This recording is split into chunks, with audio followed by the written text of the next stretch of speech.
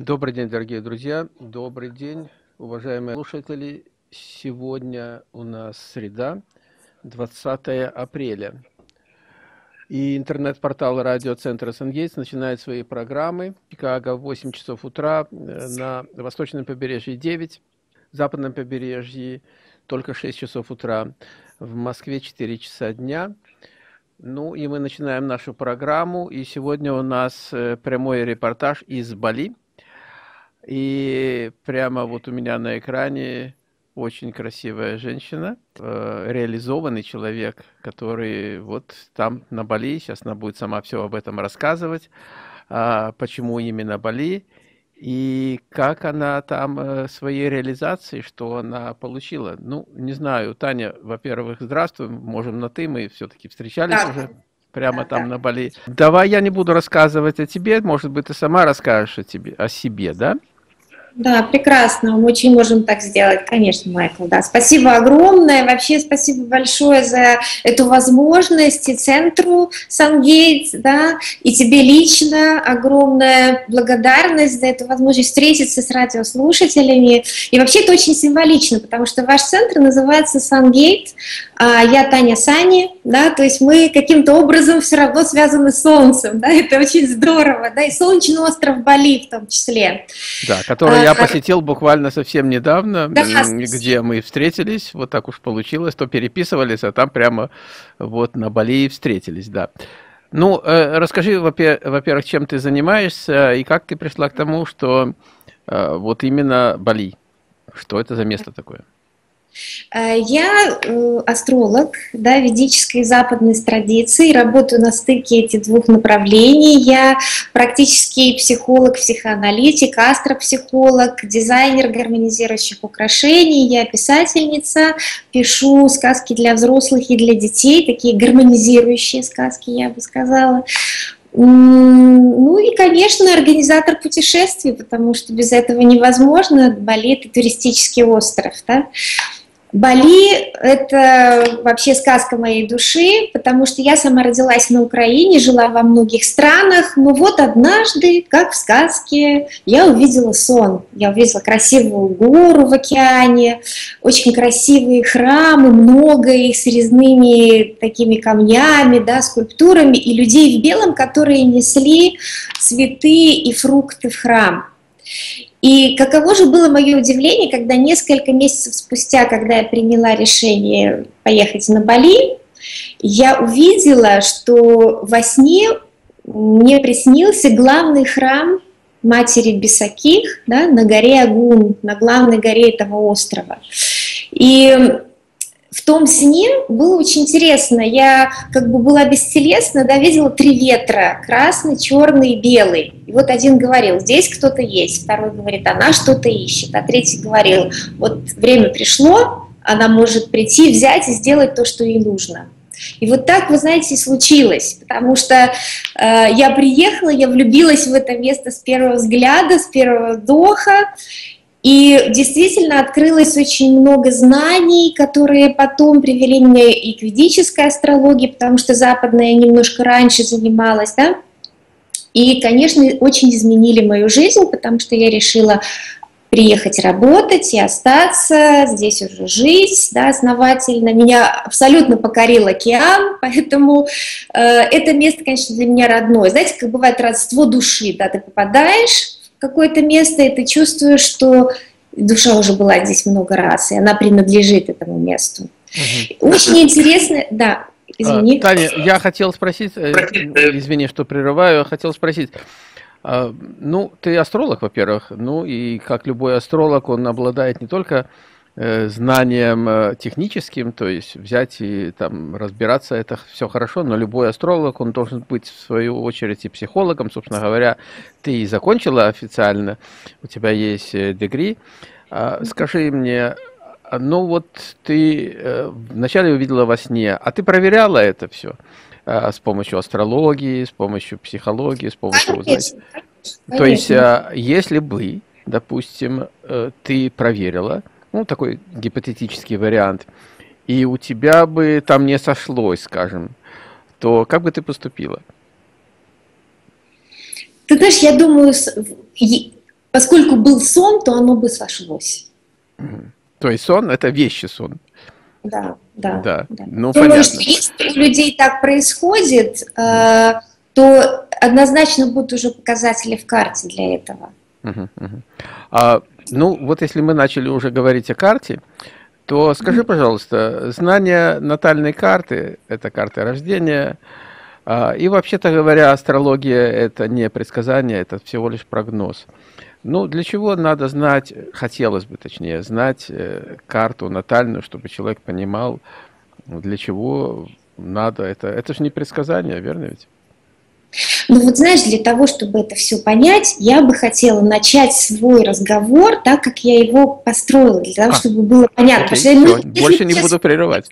текста, да, это будет непонятно. Материал на самом деле сложный, я постараюсь очень простым языком донести это до людей, да, но тогда мне нужно соблюсти вот это все по порядку. да. Хорошо? Да, Еще конечно, один да, момент, слушаю. который я хотела сказать, почему у меня э, имя Сани, мой псевдоним, да, потому что когда я приехала сюда работать, э, никто не мог произнести мою длинную украинскую фамилию. И вот пришло время делать новые визитки, мой генеральный менеджер большого резорта говорит, давай мы тебе что-то короткое такое сделаем. И я, естественно, возмутилась, ну как это может быть, поменять свою фамилию? Но в это же время готовилась к печати моя первая книга, сборник сказок «Душа реки». И редактор, кстати, живет у вас в Америке.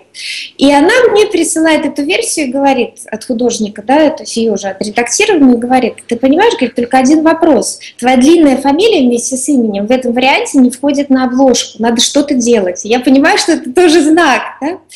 И не знаю, какую фамилию, какой же псевдоним взять. И тогда меня балийские жители, мои коллеги балийские просто спасли. Они сказали, ну ты улыбаешься как солнце, давай мы тебя назовем Сани, это будет правильно. Вот так у меня появился этот псевдоним Сани.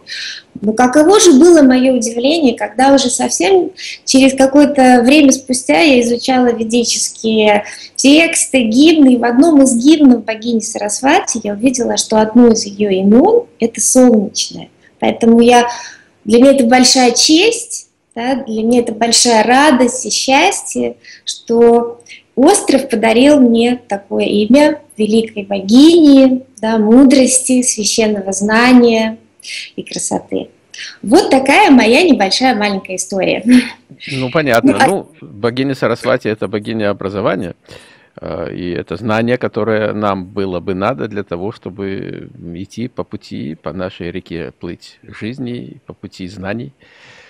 Абсолютно.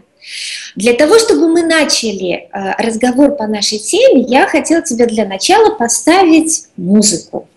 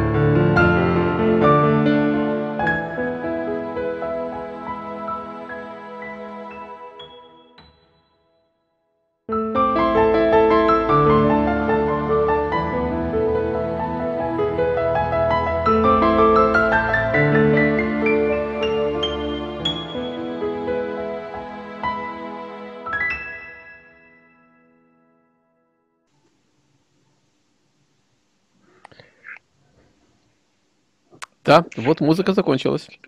Вот она уже прозвучала, да? Я просто, можно выключу а... камеру, потому что у меня тут звук начинает ехать. Да, ну, ты не слышала, да, музыки самой? Да, да, да, и я вот, может быть, это из-за связи, но ничего страшного. Нет, нет, нет, нет, э, мы проигрываем на одном компьютере, сейчас мы разговариваем, то, что идет в одном компьютере, оно потом переходит в другой и идет на, в эфир, то есть в эфире вроде бы должны мы были слышать, да, но да, прозвучала музыка. А, ну, а я сейчас объясню, что так. это такое. Это очень интересная музыка, да. А, и для многих, наверное, будет удивлением, когда я скажу, что это музыка числа пи. Вот того самого числа пи, которое мы еще в школе учим, это математическая константа, да, которая описывает отношение длины окружности к длине диаметра. Угу.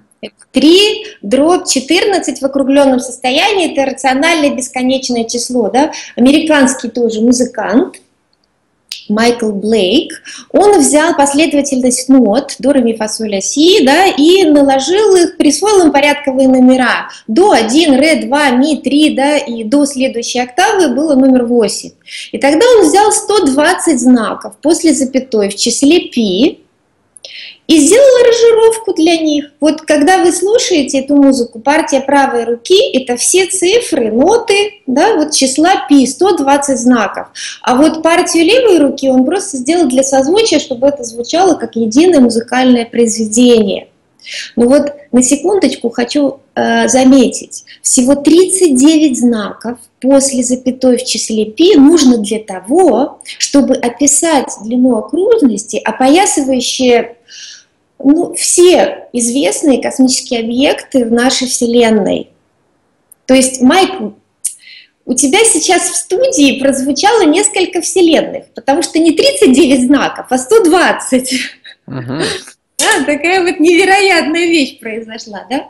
Но я еще очень хотела, чтобы слушатели послушали эту мелодию и задумались, что многое, что мы видим и, кажется, нам знаем в этом мире, да, таковым не является в реальности. Да? Ну вот, например, там, сухие цифры математические могут быть такой красивой мелодией.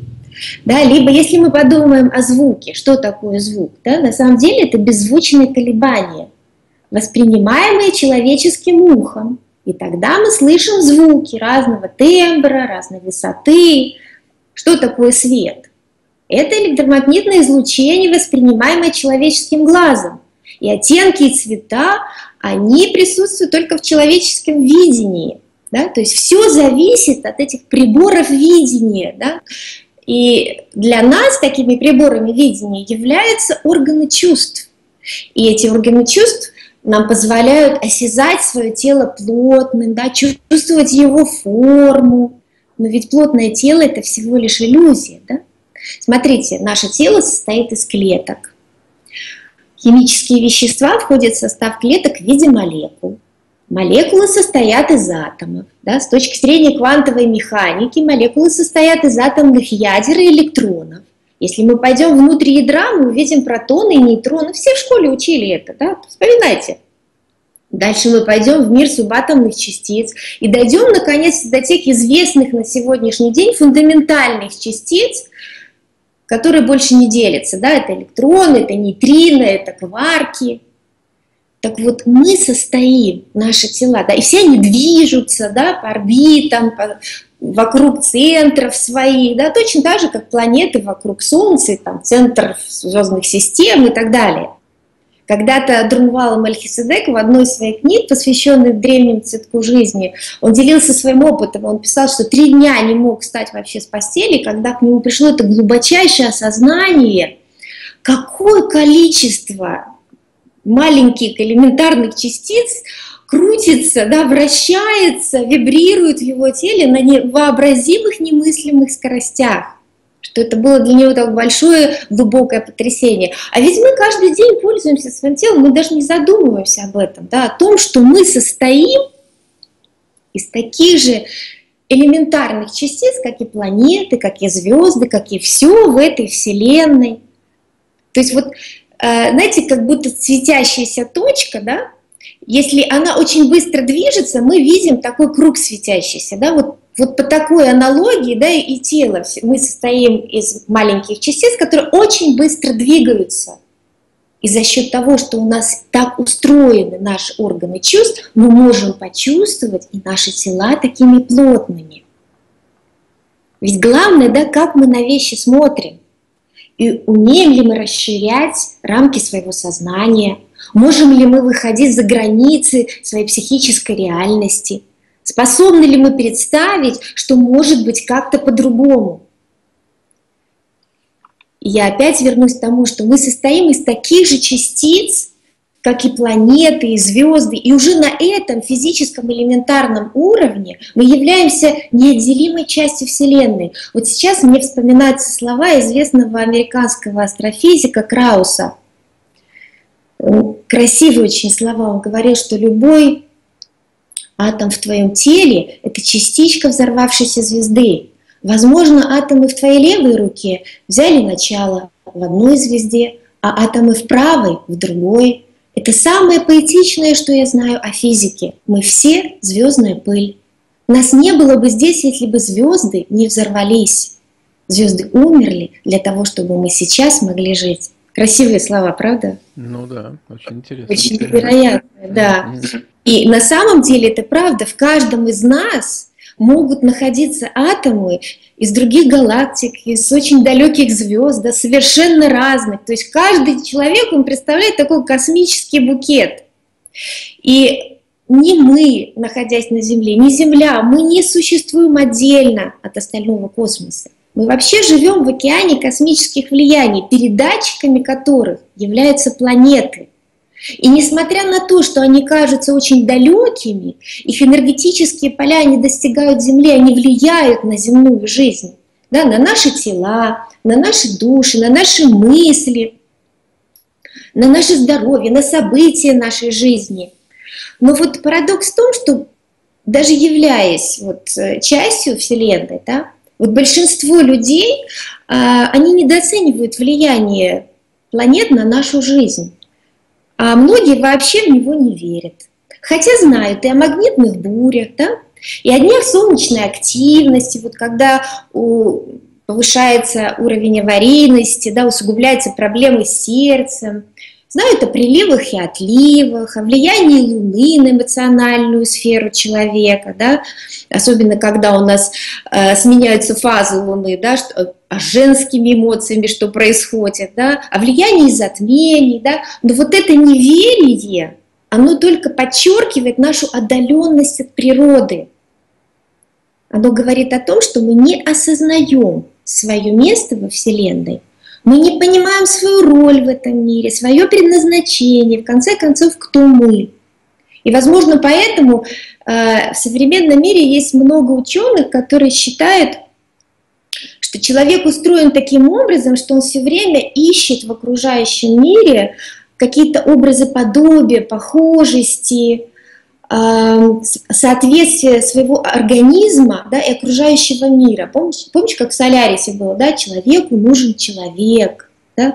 И это все для того, потому что это единственный способ для человека придать смысл существованию этого мира и, его, и ему самому.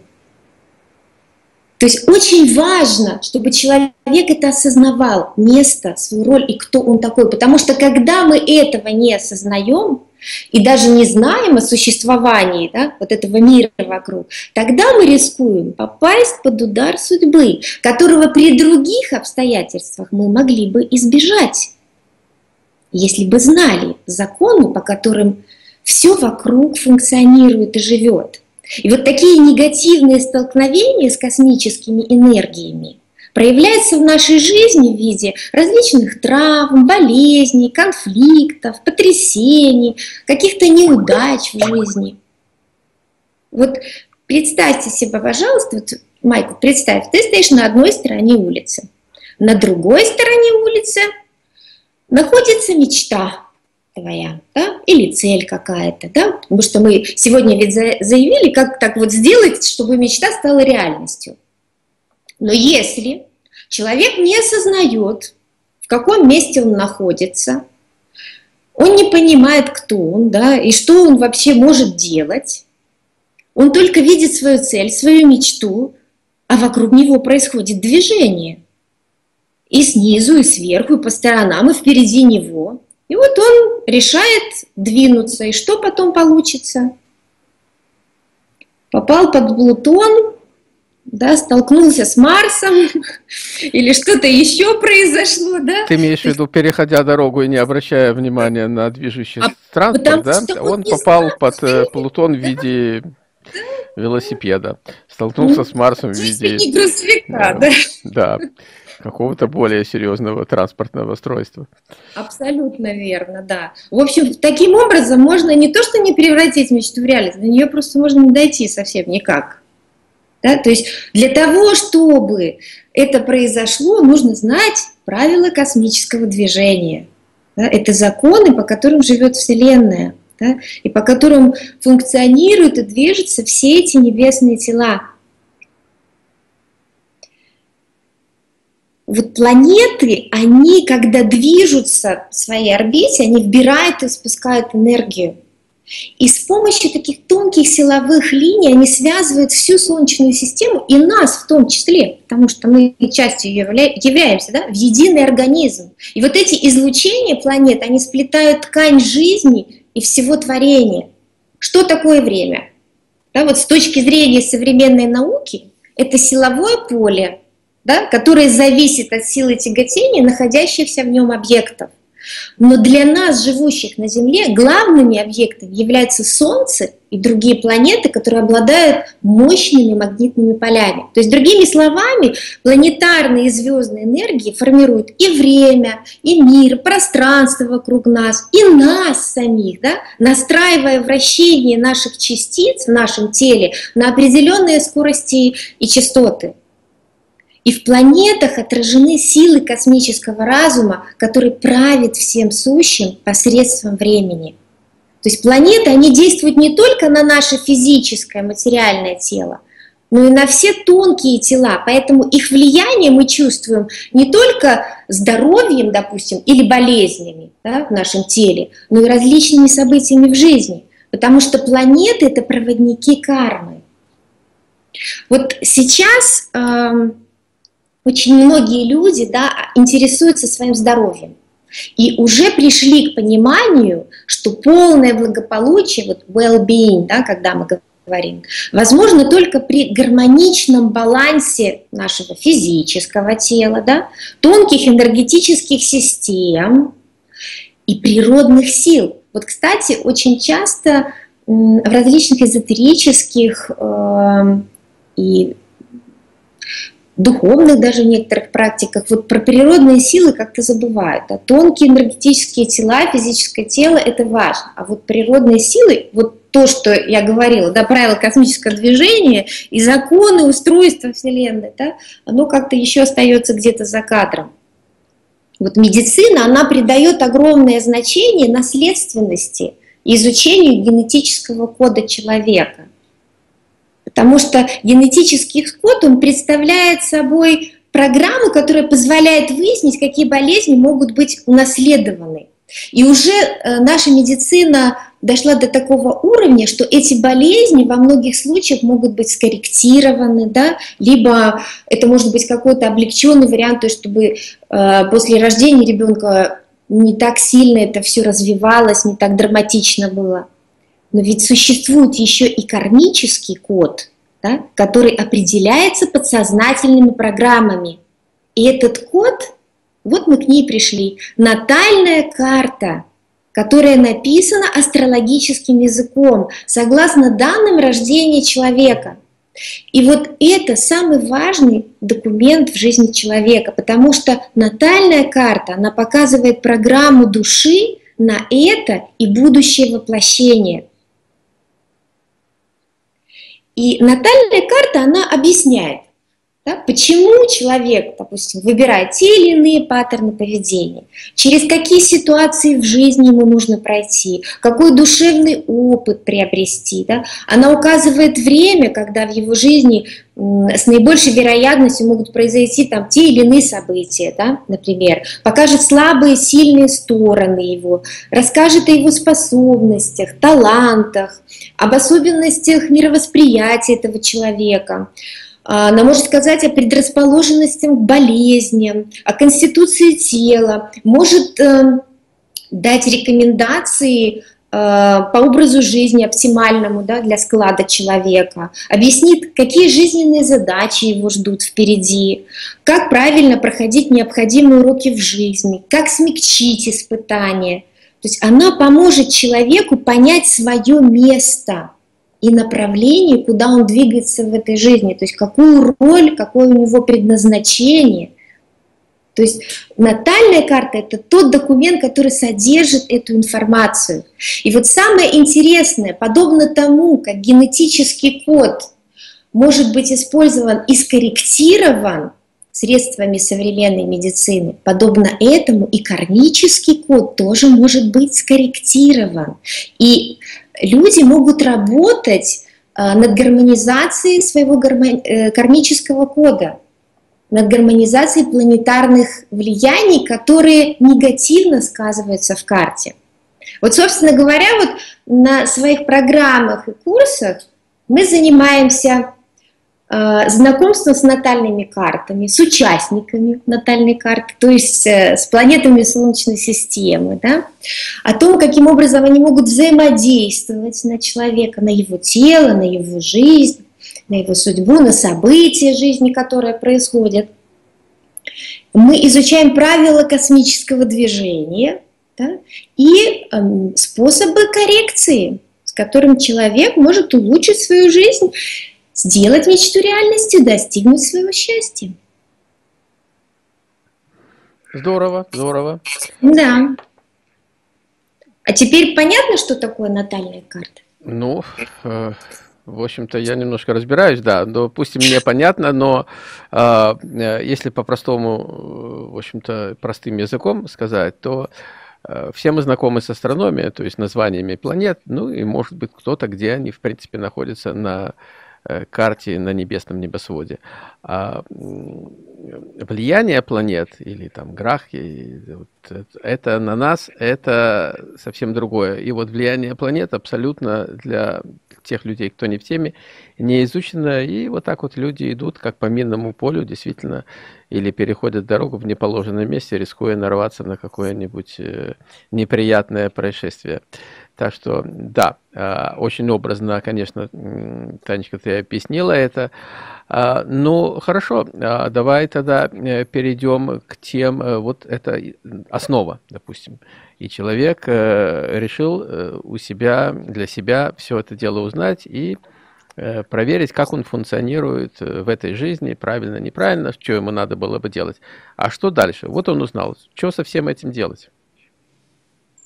Ну, а тогда я же говорила, что мы учим уже, э, ну, во-первых, когда человек знает уже, с чем он пришел в эту жизнь, и какое он место занимает, да, и какое предназначение выбрала его душа, да, куда он идет, тогда он может сделать уже какие-то конкретные решения, да, то, то есть либо он принимает все как есть, я это называю кармический автопилот, либо он все-таки хочет улучшить то, с чем он пришел, тогда он будет работать над собой. Угу. Ну, замечательно, хорошо. А, и, по сути дела, ты этому всему и обучаешь, правильно? Да, этому всему и обучаю. Угу. И это очень интересный процесс. Я считаю, что это, пожалуй, самый интересный процесс в жизни, да, потому что дает реальную возможность людям казалось бы, в безвыходных ситуациях найти свет в конце тоннеля и почувствовать жизнь совершенно по-другому, потому что это поднимает тебя на совершенно другой уровень. Знаешь, мне очень нравятся слова Эйнштейна, не скажу точно вот сейчас прям, но идея будет такая, он говорил, что решение проблемы никогда нельзя найти на том же уровне, где проблема возникла, для этого нужно подняться на уровень выше. Uh-huh. Так вот, э, гармонизация, скажем, да, то есть когда мы знакомимся э, с планетами, со звездами, вообще с небесным миром, да, мы поднимаемся на уровень выше, где мы можем увидеть решение различных наших земных проблем. А пока мы на этом уровне только вот бегаем и зациклены только на повседневных проблемах и заботах, не чувствуя, я не говорю ничего плохого в этом нет, если мы занимаемся повседневными э, с вами проблемами, да, но при этом мы должны чувствовать, что мы связаны со всем остальным миром. Да, тогда мы по-другому это все и будем делать. А пока мы будем только зациклены на этом уровне, тогда у нас будет только земной лабиринт, где мы будем натыкаться на стены, да, и пространство должно будет для нас выстраивать определенные ситуации, где мы должны будем получать опыт, необходимый для нашей души. И тогда представляешь, сколько нужно будет энергии, пространства потратить, чтобы рельсы проложить, трамвай отпустить, Аннушку отправить с маслом, да, чтобы она вовремя там его разлила, да, чтобы вот мы пошли и получили свой опыт. А если мы работаем над собой – да? Если мы занимаемся этим, мы получаем этот опыт каким-то другим путем, через осознание, у нас освобождается вся эта энергия для нас, чтобы мы что-то другое сделали в своей жизни. Полезное и хорошее. Вот этому мы тоже учимся. Ну, здорово, здорово. Да. А, Тань, а скажи, пожалуйста, ну, э, учимся, как происходят эти занятия? Они происходят э, очно, они происходят заочно. Сегодня ведь у нас интернет, и мы по интернету беседуем. То есть, в принципе, мы можем э, как-то и заочно все это проходить. Конечно. Или ты считаешь, надо приехать тут вот непосредственно, скажем, к на Бали, вот где-то находишься, ну, понятно, там природа, там, собственно, океан, там, там все здорово, замечательно, всегда тепло. А, но не все могут туда приехать, допустим. С нашего континента я ехал, ну, очень таким э, сложным путем, какой-то я себе запрограммировал путь, а, и это у меня заняло почти двое суток туда добраться. А, поэтому сложно. Да и, собственно, из России, по-моему, не так легко. Все-таки как-то это находится достаточно далеко. Так, а, как ты считаешь, или начать можно с чего-то попроще, вот начать заниматься вот, э, теоретической базой, потом угу. теоретическая есть, ну, поехали тогда а, сессии сдавать очные. Да, ну вообще спасибо да, за вопрос. Я считаю, что Э, как человеку откликается. Действительно здорово, что сейчас э, у нас есть возможности и онлайн общения, да, и есть возможности э, самолетного сообщения, да, то есть воздушного, и можно прилететь все-таки на Бали, хоть и на перекладных, да, и другой край земли.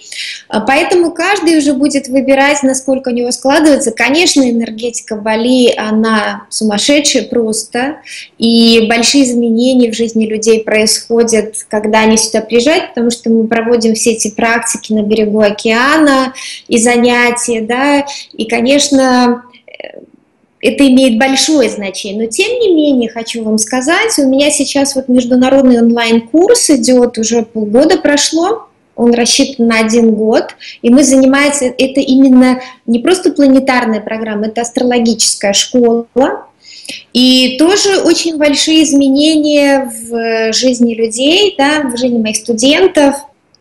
Поэтому я думаю, что здесь можно идти двумя путями, и тем, и другим, э, что больше сейчас, какие возможности у человека есть. Потому что онлайн общение, конечно, дает огромные возможности для того, чтобы передавать знания, для того, чтобы работать, да, для того, чтобы улучшать свою жизнь.